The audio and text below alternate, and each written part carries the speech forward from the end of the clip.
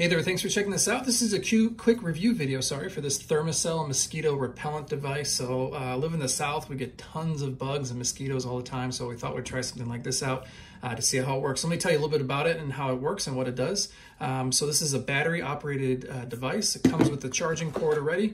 It's got a USB charging cord to, I'm not sure what that's called. It's not USB-C, it's that other, I believe you used to use it in Android-type devices. Um, cord that just plugs right on into here, and you have a pretty long battery life.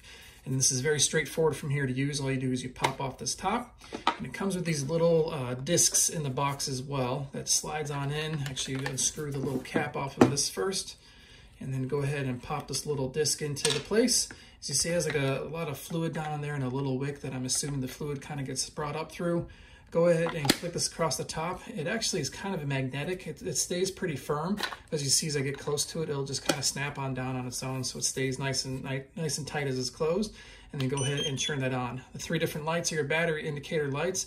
And then from there, from my understanding, you're pretty uh, pretty well good to go. It will spray out um, some of the, the repellent as needed, and this will last for about nine hours. It spreads out uh, about 20 foot wide mosquito protection zone, so quite a bit of space for you and helps out just kind of keep the mosquitoes away. So it's a nice device. That's how you power it off. Just hold on the button for a couple of seconds, and uh, this should help you quite a bit to keep different mosquitoes out of your life.